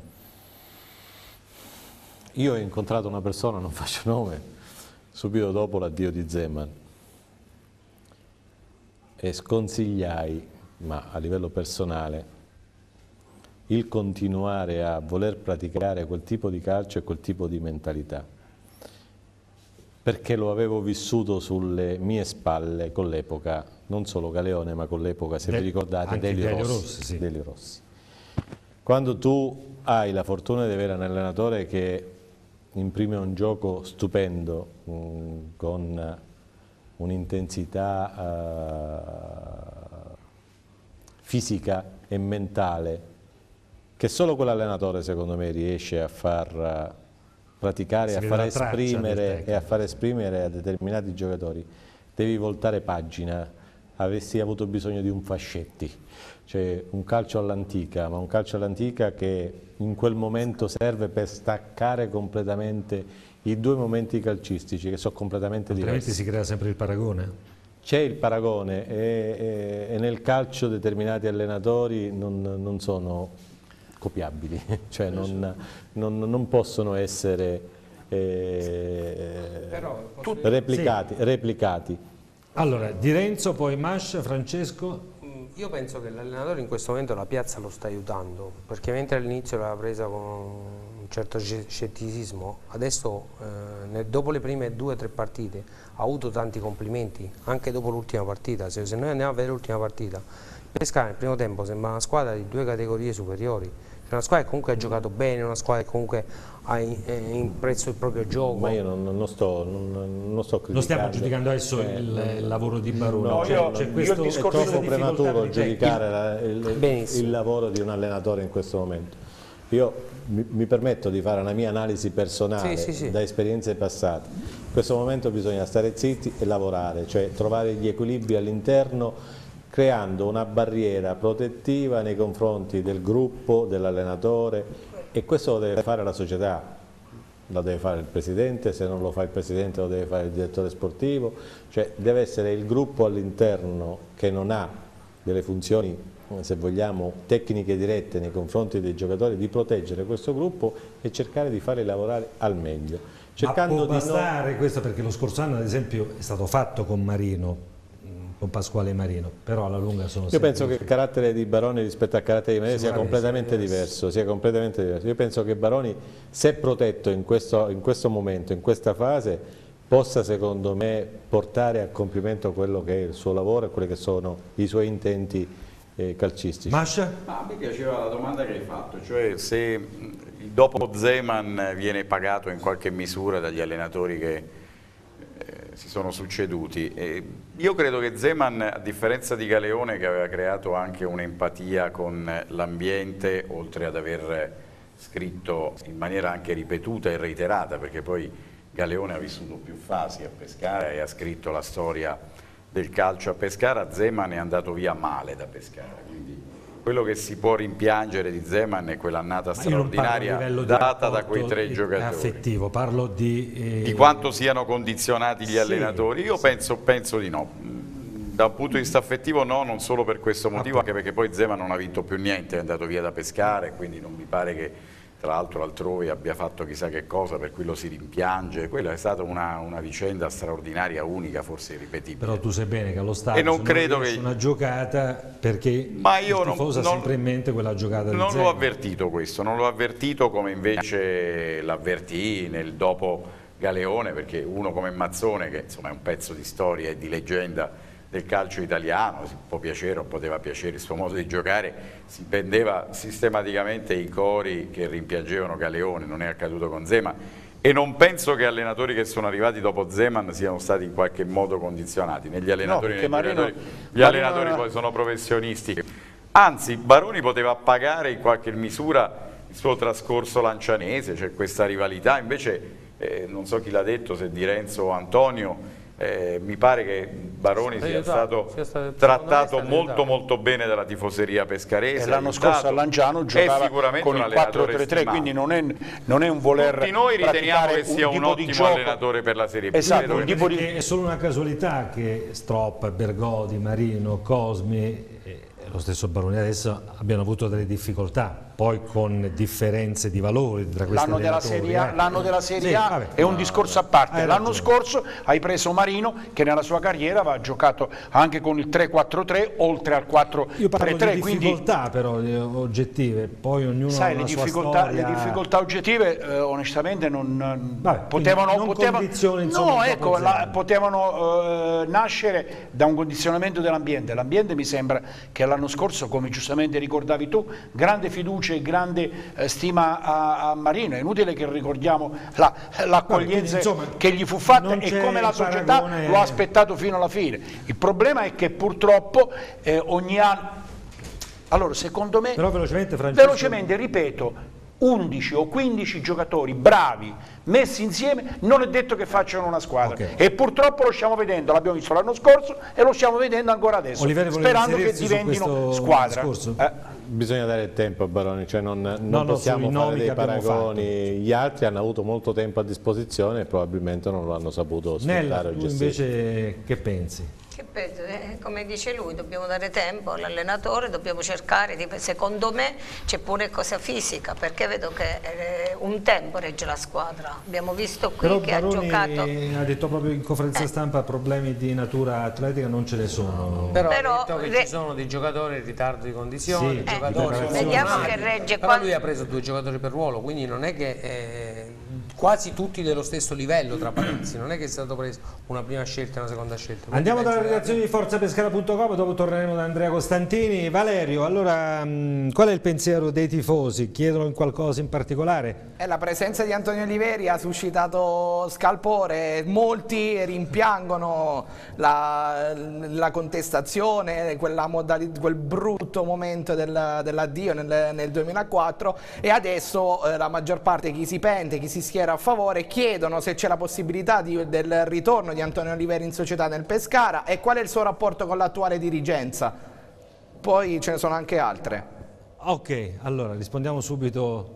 alle- massima cordialità, sono persone che conosco prima del loro ingresso nel, nel mondo del calcio, quindi massimo rispetto, massima cordialità e, e tanta amicizia nei confronti sia di Daniele che eh, di Iannascoli. Eh, sto crescendo il figlio per farlo entrare nel calcio, quindi aspettiamo la nuova generazione. E sul fatto la domanda un po' che le viene fatta spesso, può rientrare, può non rientrare?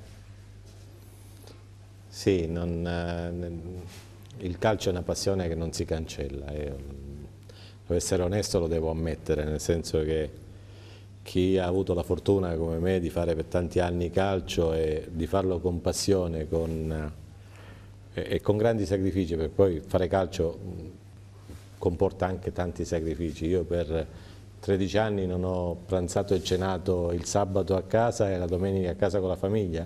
Eh, può essere una cosa che eh, può sembrare così stupida, eh, insignificante. Contenta la signora almeno. Eh, insomma, mica tanto. Stupido e insignificante, però ha, ha il suo peso nell'ambito di una famiglia. Eh, però è una malattia, secondo me, che non, Che non va via. non va via, non va via e appena poco poco c'è la possibilità dello spiraglio. Intanto credo che, intanto credo che L'ho vi abbia, sempre detto, l'ho sempre vi abbia fatto piacere il Memorial Cibilia che eh, la, la società dell'Angolana ha organizzato. Ecco, c'è questo che probabilmente come dato Cibilia non è stato ricordato, parlo un po' da parte dell'intera città, come si dovrebbe o no? Eh, mi fa piacere che ci sia stata questa iniziativa e stavo proprio pensando che è incredibile che in questi anni non sia maturata magari in tutti noi. eh. Mi, faccio- mi prendo anche una, una parte di responsabilità perché sono stato sindaco della città e quindi da- dalla morte in poi del, del commendatore che è sicuramente recente, però poteva essere anche intrapresa un'iniziativa di questo genere. Io colgo l'occasione per ringraziare la società eh, dell'Angolana e nella sua eh, persona adesso di attuale presidente, la dottoressa Corbacchiola, perché insomma è stato un gesto che noi della famiglia abbiamo apprezzato moltissimo. È stato un gesto nobile per una persona che secondo me meritava questo e, e sicuramente Ed altro. ed altro, insomma, Ed essere- ad essere onesto e sincero. Allora, Andrea Costantini, prima di andare in eh, pubblicità, ci sono novità per quanto riguarda eh, questo anticipo o qualche altro messaggio? Allora, siamo sempre sul 2-0, il Carpi sta vincendo con questo risultato alla Spezia. Ecco, a proposito possiamo vedere la classifica aggiornata con eh, l'eventuale vittoria del Carpi alla Spezia, questo è un risultato eh, se vogliamo anche clamoroso. Ecco il Carpi, vabbè c'è ancora da disputare l'intero turno di campionato, salirebbe a quota, a quota 9 e la Spezia eh, resta a 7 punti. Andrea. Sì, eh, nell'elenco dei convocati eh, del eh, Latina, lista diramata dal tecnico Beretta, ci sono eh, i quattro ex biancazzurri, il difensore Riccardo Brosco, eh, mm, l'attaccante Emiliano Sforzini, l'esterno Andrea Rossi e il centrocampista Federico Viviani. Poi abbiamo altri messaggi, quindi chiedo ausilio anche in questo caso a Maurizio da qui, possiamo leggere eh, insieme. anche da Valerio De Carolis. Il Pescara ha fatto tanto per prendere Scrugli dall'Aquila, ottimo atleta e poi non si sa perché è stato rimandati indietro perché si chiede Franco e poi ancora facciamo rispondere a Carlo Di Renzo credo che sia anche l'agente no? di questo giocatore eh, niente, il Pescara l'ha preso perché era un giocatore di un prospetto interessante, probabilmente Baroni non l'ha reputato all'altezza della Serie B e l'ha rimandato all'Auro. Quindi anche Semplice. Eh, aveva la stima dell'allenatore. un giocatore di giocare, insomma. Come? Sì, sì, è chiaro che noi consigliamo sempre ai giocatori di giocare, questo è sicuro. Eh, un altro messaggio? Tra l'altro sì, eh, aggiungo che ieri Scrugli ha fatto un gran gol per l'Aquila, un gol alla Del Piero, non proprio da difensore. Vediamo un altro messaggio. Segnano tutti gli ex. Enrico sei il migliore, la rete ha fatto un grandissimo acquisto con la tua mitica replay. Agli ospiti Baroni andrà via, Forza Pescara sempre, Fede Biancazzurra 193. Grazie, andiamo avanti con i messaggi. Ancora un altro, Appelt, chi era costui? Non fosse stato convocato Fabregas, quasi quasi. A te Enrico. Francesco, a te che piace Appelt? Che sia convocato o meno. Mi piace Appleton, non ho criticato eh, la, la, la, non convocazione, avrà i, suoi buoni motivi tecnici, tattici, come vogliamo dire, eh, l'allenatore, uno aspetta il campo, pure l'altra volta ci meravigliamo che il Bologna non gioca Pasquato e ha dato comandare. Mi mette Guana che va eh, senza nulla togliere, che è sempre bene ricordarlo, anche se è ridicolo, senza nulla togliere quella che è la bravura e la bella carriera, la grande carriera di Guana, però Guana che va a 3 all'ora affianca ad Appelt che va a 3,5 o 2,5 e quindi dopo che ho visto la partita uno critica, eh, che se no... Sicuramente dopo aver visto la partita quello da pensare è questo, io mi meraviglio come non sia stato dato per niente spazio a Selasi, il ragazzo ragazzo che l'anno scorso aveva fatto così bene in finale di campionato e eh, con un... Pro... No, no, è stato, no, sempre, è stato sempre tutte, prima, prima è passata, tutte le volte è stato convocato. Prima è passata sottovoce quello sì. che diceva giustamente lui, eh, 24 giocatori, due per ruolo, quindi se eh, sono stati presi e accettati da Repetto, Pavone, Sebastiani, Iannascoli e Baroni, significa che vanno più o meno bene tutti e 24, quindi se mi si fa male Giovanni e c'ho Pasquale, c'ho Pasquale, giochi e quindi non mi posso lamentare se manca Giovanni. Valerio De Carolis, velocemente qualche domanda dal portale? Sì, eh, ancora una domanda per Antonio Riveri, poi approfondiremo anche per tutto quanto lo studio. Se c'è eh, qualcuno nel, nello specifico che l'ha fatta allontanare dalla cordata di Sebastiani De Cecco, quella del, diciamo del, eh, della, della, nuova gestione. la domanda, facciamola vedere perché altrimenti possono pensare che te le stai inventando queste domande. No, no, no. Eh... Hai il tempo di trovarle, intanto Oliveri ci risponde.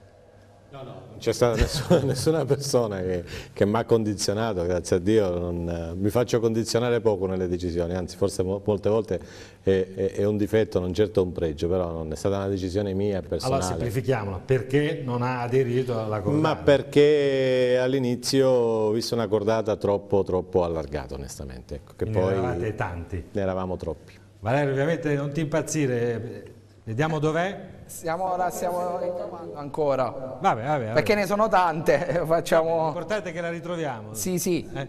Allora andiamo in pubblicità e poi ultimi 20 minuti di trasmissione. A tra poco.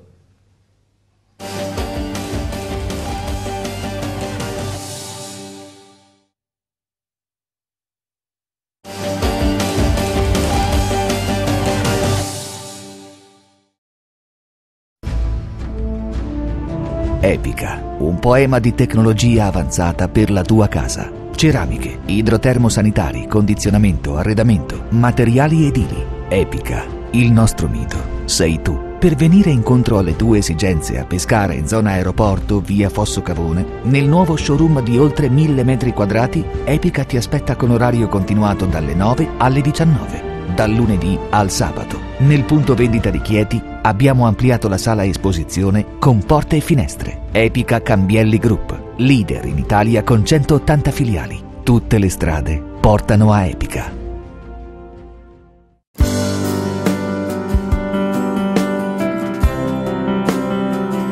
Le linee e le tendenze mutano con il passare del tempo Cogliere i cambiamenti, soddisfare le nuove esigenze, sono le qualità che fanno di Di Paolo Arredamenti il riferimento nel mondo dell'interior design. A Montesilvano, Di Paolo Arredamenti è esposizione di elementi d'arredo e punto vendita ufficiale Poltrona Frau.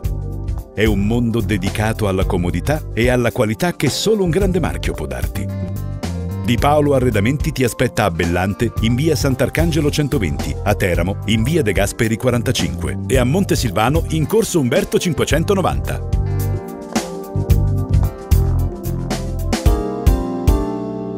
Salve, sono Emilio De Florentis. L'impresa funebre della nostra famiglia nasce nel 1945 in una piccola bottega artigiana nel cuore di Pescara Vecchia dall'intuizione di mio nonno Emilio e di suo padre Emilio. Da quel momento, da 68 anni la tradizione prosegue e dal 1995 io e mio padre Alfredo abbiamo aperto una nostra azienda che a Pescara ha sede in via Spaventa, nella zona dello Stadio Adriatico. Alfredo e Emidio De Florentis 085 66 021 Notti d'Oro, nuovo punto vendita a Montesilvano in corso Umberto 271 con oltre 1000 m2 di sale espositive. Negozio specializzato in biancheria per la casa, per la tavola, spugne, pigiameria e vestaglieria. Le più belle collezioni di Blue Marine, cavalli, fazzini, zucchi, gabel, caleppi, piumini downstep per le occasioni più eleganti e le necessità quotidiane. Assortimento e prezzi da ingrosso. Ampia scelta di letti e materassi. Notti d'Oro, Corso Umberto 271 a Montesilvano. Biancheria e materassi per sognare.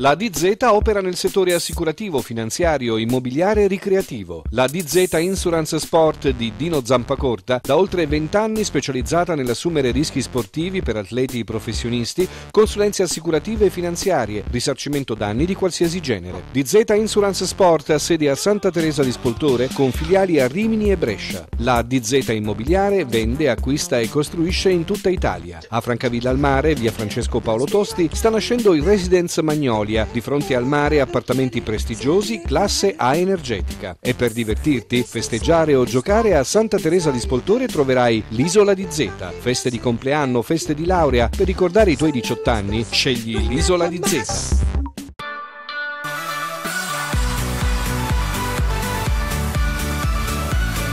Benvenuti a bordo del gruppo Baltour Sena Eurolines, azienda leader in Italia per trasporto passeggeri in autobus a media e lunga percorrenza. Con le nostre linee colleghiamo ogni giorno 17 regioni italiane. 23 nazioni europee, oltre 500 destinazioni, trasportando oltre 4 milioni di passeggeri l'anno. Consulta il sito www.baltour.it e compra i tuoi viaggi low cost a partire da 5 euro. Baltour, Sena ed Eurolines ti augurano un buon viaggio.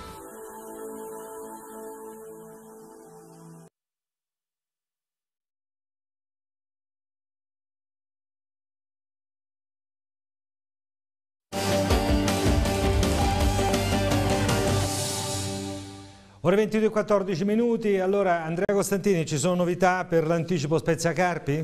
No, siamo sempre sul risultato di 0 a 2, mancano 5 minuti più eventuale recupero, per ora il Carpi sta tenendo bene il risultato e anzi ha anche sfiorato il terzo gol, invece eh, nel eh, posticipo di Lega Pro sempre San Marino 0 Sant'Arcangelo 1. A te. A distanza di anni, Oliveri, la B è sempre la stessa, cioè ricca di incognite, però quest'anno non c'è una squadra probabilmente che può eh, dare un taglio alle altre, cioè eh, non c'è la regina come poteva essere lo scorso anno il Palermo, anche se pure il Palermo non era partito bene. Beh, non c'è, ma secondo me uscirà fuori. Uscirà fuori perché il campione di Serie B poi alla fine tira fuori sempre la squadra che, che diventa protagonista in, in, nel campionato. Eh, attualmente non, non, si intravede, anche se io ho un'ottima, eh, mi ha fatto un'ottima impressione vedere giocare il Perugia. Devo essere sincero, ho visto giocare anche il Brescia non male in alcuni frangenti perché ho visto la partita eh, due domeniche fa, se non sbaglio, di Brescia contro il Livorno. Sì, sì Brescia-Livorno. E non, non, non mi è dispiaciuto il gioco del Brescia eh, può migliorare ma secondo me è una buona squadra. Comunque queste due partite, domani con il Latina e domenica a Catania, possono dare un indirizzo al campionato o è sempre troppo presto? Masci? Certo che lo danno un indirizzo al campionato, eh, Baroni si gioca molto, io dico che non è l'ultima spiaggia ma insomma domani sera è, è una di quelle partite eh, si legge la tensione anche nel, nello sguardo, nel volto di Baroni, è una di quelle partite in casa cioè il fatto cui ci si aspetta una riscossa. È un'arma a doppio taglio? Ma secondo uno che di allenatori ne avrà visti 20, 30, probabilmente come Antonio Oliveri, eh, forse in quel sorriso c'è anche molta Comunque l'ho anche detto Baroni in conferenza stampa, ha detto mi vedrete molto più arrabbiato quando vinceremo le partite. Ora bisogna dare serenità e se vogliamo può essere una chiave di lettura positiva. No? E può essere, sapendo poi che oltretutto andiamo poi dopo qualche giorno a Catania dove ci sono altri problemi, ecco, per esempio a Catania è una di quelle piazze dove, dove si aspettavano di essere già protagonisti nella prima parte del campionato e invece non, non lo sono, hanno già cambiato l'allenatore, secondo me sbagliando. Mi insegnate tutti e due, soprattutto Antonio, come ricordavi tu, è stato dentro la società per tanti anni, quindi ha vissuto situazioni che noi possiamo intuire, eh, se vogliamo anche lontanamente, ma guardate che ci sono segnali e segnali, ossia nessuno, penso, al di là del fatto che tutti ci auguriamo che domani Pescara vinca con il Latino e magari faccia pure il risultato a Catania, ma se non dovessero esserci questi risultati, però dovessero arrivare dei segnali incoraggianti, ossia tu vedi una squadra che di colpo non sbanda con il Cittadella, parti male, vai sotto, sei bravo a recuperare, vai in vantaggio, stai dominando la partita e di colpo, se io vedo una squadra che non becca gol da Polli, da, da Babbei, come devo dire, così come cioè, vuoi sapere qual è il ragionamento che si fa il dirigente in pratica? Sentiamo ma non solo quello sì ma anche, ma anche l'intero uh, ambiente ossia eh, c'è modo e modo di perdere. il dirigente si fa Esatto, però diverso, in linea no? di massima, eh, se eh, tu certo. vedi una squadra che è lì lì per poter fare veramente bene e ottenere risultati, magari il risultato negativo lo accetti diversamente, è inconcepibile. Il pescare, il in quella condizione, Francesco, eh? io la vedo in quella condizione. Eh, speriamo. Cioè io il bicchiere lo vedo mezzo pieno, siccome abbiamo visto in realtà un pescara sempre a due facce. Esatto, a eh, Terni è andato C'è chi lo vede mezzo vuoto perché non guarda magari... no, no, ma io pure lo voglio, io pure mezzo pieno, sono d'accordo, io pescara con Cittadella, ma io pure lo voglio vedere vedere, lo voglio vedere mezzo pieno. Evidentemente manca qualcosa, è un cantiere in cui manca qualcosa e lì l'allenatore deve essere bravo. Posso fare una provocazione? Prego, eh, sei qui per questo. Allora, lui in conferenza ha parlato degli errori difensivi e della situazione mentale, no? Sì, intensità mentale. Ma al posto di, eh, visto che oggi si è arrivato a lavorare in maniera quasi scientifica con i computer, con, eh, si pesa la massa magra, la massa grassa, eh, la preparazione atletica, i, millimetri, i cronometri, frazioni di secondo. Ma scusa un attimo, non è, non è, più semplice lavorare solo sulla fase difensiva e magari mettere una persona che lavori sulla, sulla situazione mentale, visto che qua nel calcio ci sono 100.000 figure visto che in America eh, questa è una figura che esiste da non si sa quanti anni, non è meglio mettere un mental coach su un budget annuo di 7, 8, 10 milioni di euro? Alla fine può darsi che questo potrebbe Però essere la soluzione. Però testi ci lavorano probabilmente. Ma secondo me, secondo me, chi fa quel lavoro sa come deve intervenire. Oliveri? Io lavorerei sulla fase difensiva soltanto, anche, devo essere anche, sincero, anche. lavorerei molto di più sulla fase difensiva, perché quella offensiva, quella offensiva, devo dire, eh, abbiamo visto anche i gol il Pescara li sta facendo, insomma, deve cercare di farne uno in più e di prenderne uno in meno, quindi io lavorerei un po' più, mi concentrerei a lavorare Ma è vero che ci sono stati... Come meno belli, sì, ma è vero, che ci, è vero che ci sono stati gli infortunati, è vero che Ciosic era tornato, Zupari, Cie che era tornato, non c'era stata una partita perché stava con la nazionale, ma se sono cinque partite di campionato e ci sono state cinque formazioni diverse che tu lavori sulla fase difensiva, sì, però mi, si- mi- mi sembra che la storia ci insegna che dopo uno o due mesi di campionato, se sai a memoria già la formazione di quella squadra, guarda caso quella squadra sta andando bene. Allora Nella, e lo dice anche la storia del Pescara. Dopo due anni di sofferenza, quest'anno pensavamo di essere un po' più tranquilli, l'inizio non è stato promettente. Purtroppo è così, non è stato promettente, ma noi perdiamo sempre, sai che noi siamo sempre vicini, cerchiamo sempre di tifare e, di- e faccio sempre appello a tutta la tifoseria, siamo ancora agli inizi, se stiamo tutti eh, eh, legati alla squadra, tutti siamo coesi, eh, i risultati arriveranno perché come dicono tutti gli uomini ci sono, l'allenatore abbiamo visto che non è l'ultimo arrivato, prima o poi questi risultati devono anche Questa arrivare. coppia Pavone-Repetto, Mash? Secondo me è una coppia ben assortita. E, eh, Repetto è un grande intenditore di calcio, uno che si è fatto questa esperienza da direttore sportivo lo scorso anno e Pavone ha una storia importante nel calcio italiano, mica, mica soltanto doveva venire a trovare gloria a Pescara. E, e d'altra parte la squadra che è messa su quest'anno, dai, diciamocelo chiaro, tutti pensavamo e pensiamo che sia una squadra di primo Il bello del ordine. calcio è proprio questa, che per il secondo anno consecutivo Che- che il ne dica? C'è una squadra. dopo le trattative di mercato Francesco che dice, eh, dice Francesco 15 giocatori ottimi non fanno una squadra, ha ragione, è così, ma qui è, è il tecnico che deve essere bravo. Qua il, qua il Cioè, meno, qua il meno bravo è bravo. Non so se rendo l'idea. No, non ci sono responsabilità del tecnico, ci sono incombenze sul tecnico. Eh, la responsabilità fa pensare che ci sia la colpa del tecnico. Io mi aspetto che ci sia la soluzione da parte del tecnico.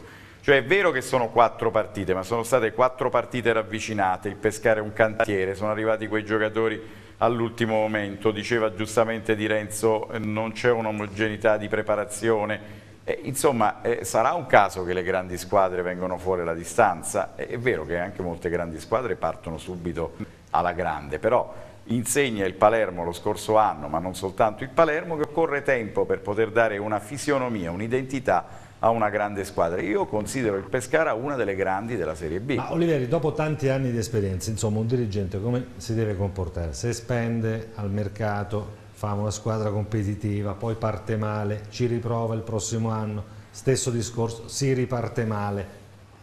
Cioè, altre squadre spendono 100 euro al mercato, per modo di Sì, dire. ma non, eh, la- la- la- il tutto non dipende da quanto spendo e come spendo.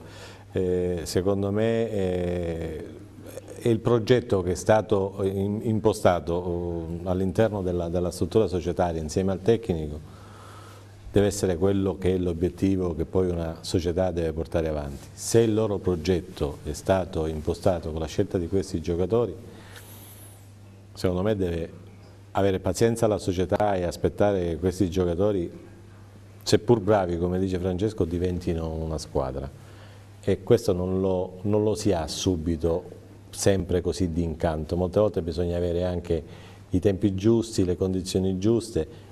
Io la ritengo una squadra di buoni giocatori, probabilmente ancora non è una squadra, lo deve diventare.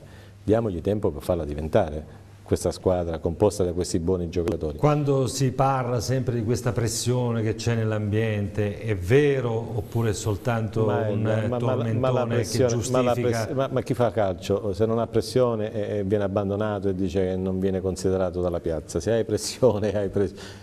Eh, bisogna accettarle, bisogna accettarle, amore. Qui a Pescara, bisogna accettarle, c'è bisogna un amore. accettare, accettare quelle che sono le critiche, accettare quelli che sono i consensi, avere la forza di lavorare e, C'è amore verso e continuare a non lavorare. pressione. Io voglio dire che due partite che abbiamo fatto la domenica con il Bologna e, e abbiamo visto Enrico, che sì, è finale alla Spezia in questo momento, la Spezia 1, Carpi 2 al novantesimo ha accorciato le distanze Catellani sul rigore, fallo con- eh, che è stato fischiato per un atterramento dello stesso Catellani ad opera di Letizia, però il Carpi ce l'ha fatta, ha anche colpito un palo con Di Gaudio nei minuti di recupero.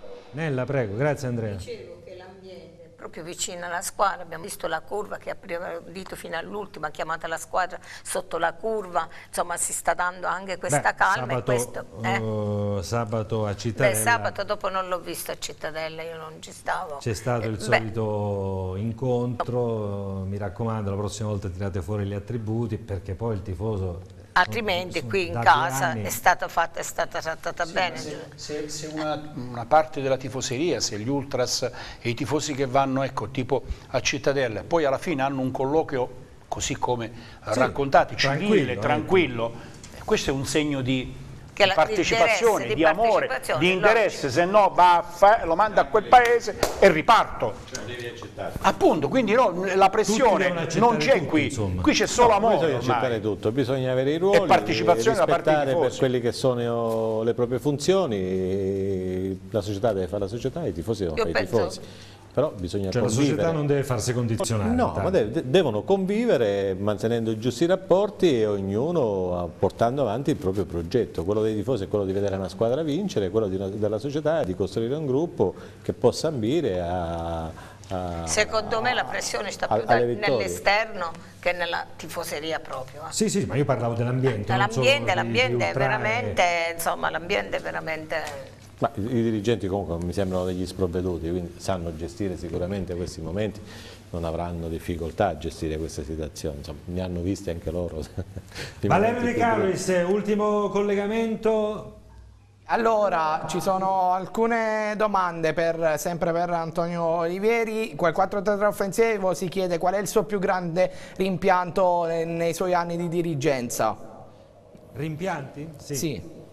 Quello di non aver licenziato De Canio nella partita in casa con la Regina, perché sono venuto a conoscenza che aveva firmato il contratto con l'Udinese il giorno, il giorno dopo. E le responsabilità e le colpe questa volta gliele do ad Andrea Iaconi, ma avesse detto che l'allenatore dell'epoca, che era De Canio, si era già messo d'accordo con l'Udinese, quindi aveva la testa altrove, non certo nella partita contro la Regina dove ci siamo giocati poi la Serie A, io l'avrei licenziato il Però giorno prima. Se il Pescara con un altro allenatore avesse perso con la regina, poi se la No, prendeva. no, mi sarei preso la responsabilità, non, non- non- non avrei avuto paura a decidere, a decidere, a decidere assolutamente, ma mh, poi rispetto De Cani, siamo amici, eh, però quel gesto non, io non glielo perdonerò né ora né mai. Io ho incontrato De Cagno prima ancora subito Ha detto che dopo non la è vero. Che- No, no, l'ha incontrata e ha fatto tutta quella cosa in televisione, a Rete 8, e ha detto eh, che lui, l'ambiente con lui non era più in sintonia, che qua, che là, e vado via. Ho detto, sente mister, lei va via perché sicuramente lei ha firmato un contratto, ha l'accordo con qualche altro. No signora, io gli giuro, gli ho detto, senta, No, ma a me sembra solo San Francesco d'Assisi che è andato via, ha buttato tutte le sue ricchezze. Lei e io ho avuto il coraggio, andando a Udine, di ribadirgli questo. Mister, lei a marzo aveva firmato il contratto, Insomma, con, l'accordo con la cosa. E io è l'unico allenatore, scusa, eh, ma lo, lo voglio dire in pubblico, è l'unico allenatore che non ho potuto, che non ho sopportato per tutta questa mia cosa di, eh, di tifosa col Pescara.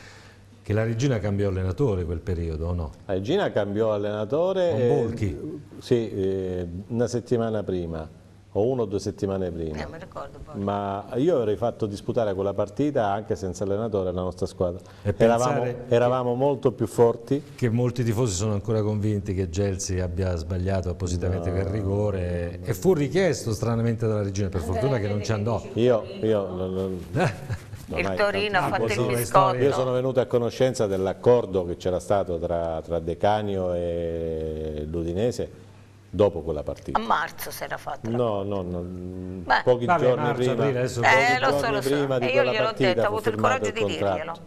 dirglielo. Tant'è che De, De Canio andò da Andrea Iaconi di, e chiese ad Andrea Iaconi di risolvere il contratto a fine stagione perché aveva un, un altro anno di contratto. Andrea Iaconi per quieto vivere eh, non disse niente alla società, Andrea io glielo rinfaccio sempre ad Andrea Iaconi questo episodio. Perché io poi ne sono venuto a conoscenza eh, dopo la sconfitta, giorni, a giorni, a giorni a seguirsi, ma avrei sicuramente licenziato De Canio. De Canio. Valerio, qualche altra Siamo domanda possiamo chiudere eh, qui? guarda. Ci sono anche domande per lo studio. Velocemente, sì. Chiedono se i nostri calciatori, eh, la presi l'Aquila Teatina, sono sufficientemente seguiti e saggiamente controllati nella dalla società nelle ore serali e notturne perché poi quando vanno via hanno tutto un altro rendimento. Ecco, lo, risponde lo- a questa? questa riassunta. Facciamo rispondere a Nella. Eh, tu giri Veramente- la no, sera, giro, io la no, sera non senso- giro, eh. sento i ragazzi che girano, pertanto io avevo già detto alla mister di guardare veramente l'ambiente e di tenere a bada quei giocatori e far frequentare Valerio, alcuni locali. L'ultima- da Mertel ci chiede se il direttore sportivo Pavone è poco presente. In che senso? Eh, eh, lui scrive DS Pavone è poco presente? Se- Poco presente, Mascia. Non credo che debba scendere in campo quando ci sono le partite e credo che il lavoro di Pavone sia un lavoro, magari non, non prevede passerelle, interviste, tra l'altro mi sembra anche un tipo un po' riservato, quindi Sì, magari... è sempre stato Però poi, Mi eh, sembra che il lavoro di. Pavone si debba vedere nel- nell'organico che è stato impostato mi pare Senti, ma quella domanda che hai fatto prima, Valerio, Sì, c'è alla, pagina, alla prima pagina del- del- della news la trovate, la- eccola lì.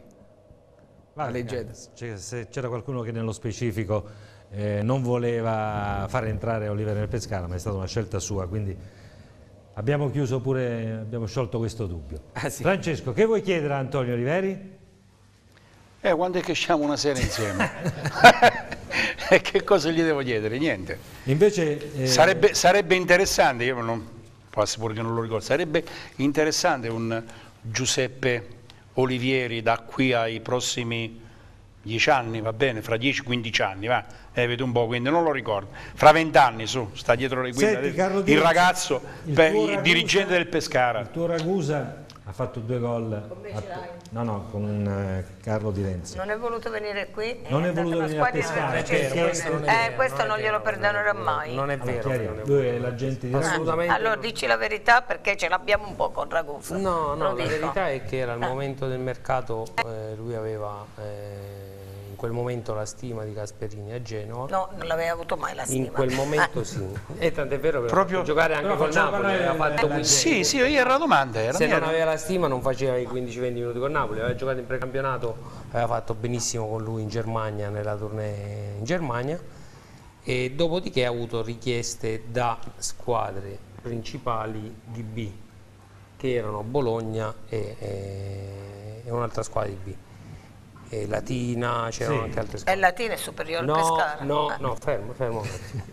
È chiaro che per fare, per fare Eh, ecco, per l'operazione ci voleva il benestare del Pescara e il Pescara non ha dato il benestare al Bologna. Il problema non era solo a livello che il ragazzo non voleva tornare a Pescara, c'era una situazione contrattuale da sistemare che è stata sistemata dopo, che il Pescara ha dato il benestare al eh, Vicenza per fare l'operazione. Ma non è vero che Pescara- ragazzi, il ragazzi Pescara ci risulta per ammissione, quindi salvo prove contrarie si assolve in casi del genere, quindi si crede per ammissione degli stessi eh, Iannascoli che il e Sebastiani che stavano facendo di tutto per riprendere c'è stato un eh, momento Ragusa. che stavamo facendo di tutto, però Eh, ci e quindi vuole lì anche la Gasperini aveva la Francesco, Credeva in- problemi economici, né più né meno. né di volontà Ah, vabbè, di sta allora Sì, sì, vabbè, invece. Sforzini ti ha deluso un po', ha detto No, deluso Pescara sì, perché no, a Pescara allora no, io soltanto. de- a me L'incubo era lui forse. No, io quello che mi ha deluso è che lui ha detto che Pescara ha fatto, non ha parlato bene di Pescara, quando io vorrei dire giustamente chi ha dato di più, lui al Pescara o il Pescara a lui. Bene. Semmai lui non ci ha dato manco un gol, ma che ci ha fatto? Un gol o due? Un gol in due anni. Eh, non l'abbiamo mai Andrea, visto. possiamo chiudere con i messaggi? Abbiamo visto il eh, messaggio, lo riproponiamo, eh, eccolo qui, signori, si nasce, signor Oliveri, tu non acqui, Mario da Teramo, un messaggio eh, simpatico, possiamo vedere eh, qualche altro messaggio? Sì. Dopo i complimenti a Rocchi e alla rete avevo anche fatto una domanda agli ospiti se pensano che Baroni andrà via se continua così tra 3-4 giornate, grazie, forza PES, avanti, che ne abbiamo Luigi anche Maccia, parlato. Vuoi ribadire? Ve- ragazzi perché non c'è Sì, solo Pino il... cosa dice? Vedrete il Pescara risalirà la classifica, a maggio vi richiamerò come dice l'ex presidente Oliveri, se miglioreremo in difesa le altre squadre si dovranno preoccupare, forza Pescara dice Pino e poi ancora No, penso che abbiamo, abbiamo- abbiamo finito. Eh, Enrico, un'ultima cosa, giusto per sottolineare l'importanza della gara di domani, eh, dal latinaquotidiano.it possiamo vedere Latina Calcio 5 punti in 4 partite, Beretta, il tecnico del Latina dice io sono il primo responsabile, Pescara match fondamentale. A te. Andrea, intanto ti ringrazio, saluto anche Valerio De Carlis, non so se ci sono aggiornamenti dal portale Forza Pescara, Valerio. Solo una voce unanime, rivogliono tutti Antonio Oliveri nella dirigenza, anche anzi alla presidenza della Pescara Calcio, lo vogliamo un po' anche tu, anche, anche io. Cosa mi si sente di dire alla coppia Sebastiani-Annascoli? In bocca al lupo e gli faccio i complimenti perché resistere in questi momenti e continuare a fare calcio in una situazione così generale bisogna avere tanto ma tanto coraggio, quindi un in bocca al lupo grande grande e tanti speriamo successi per loro e per, per la città di Pescara. Vengo anch'io.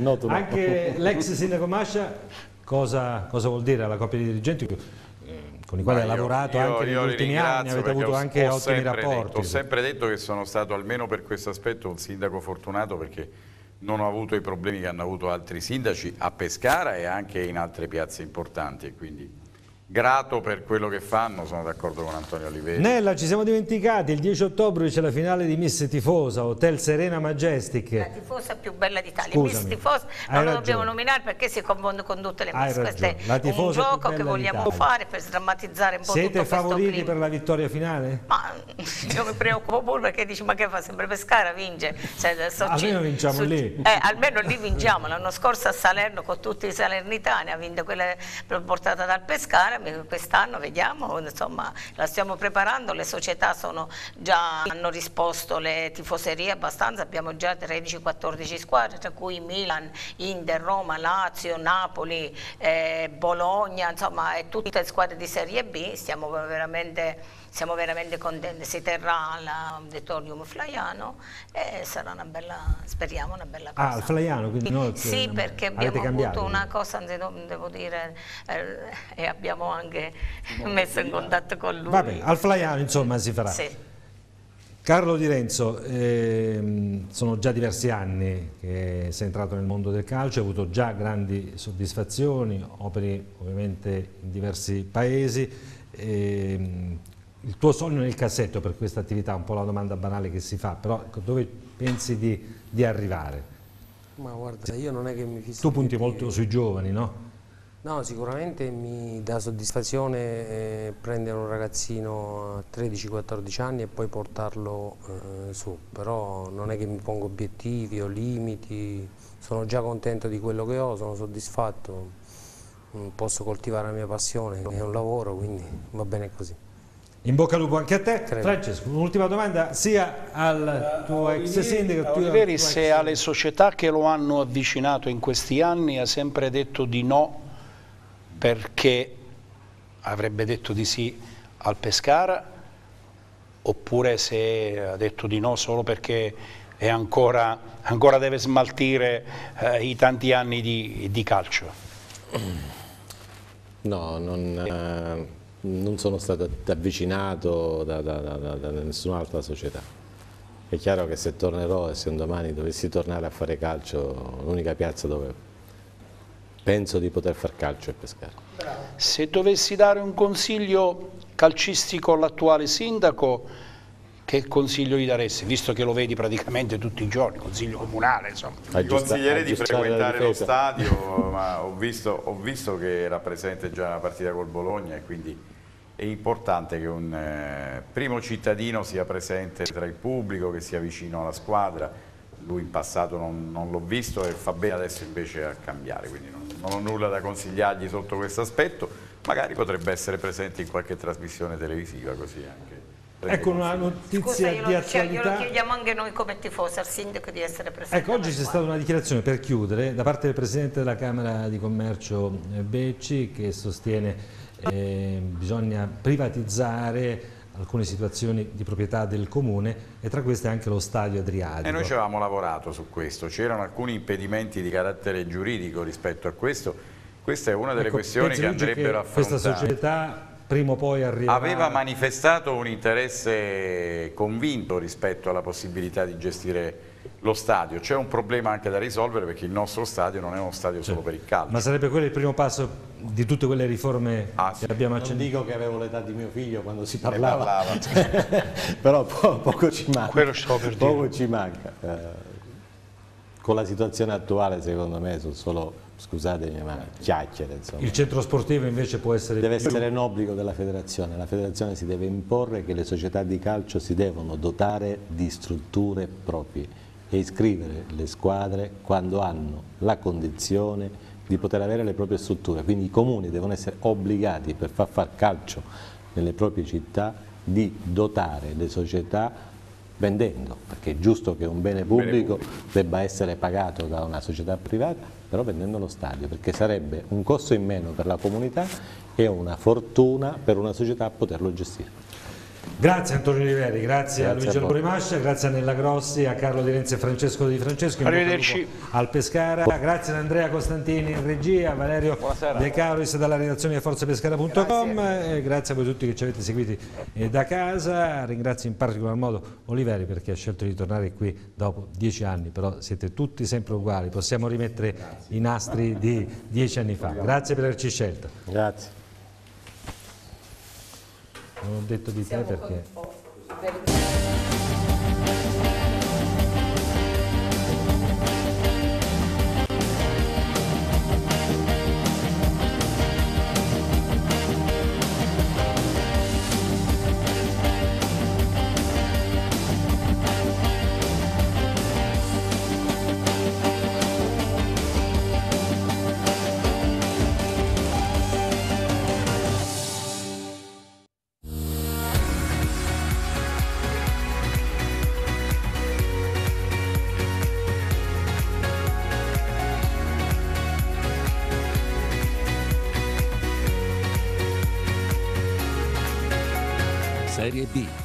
campionato degli italiani.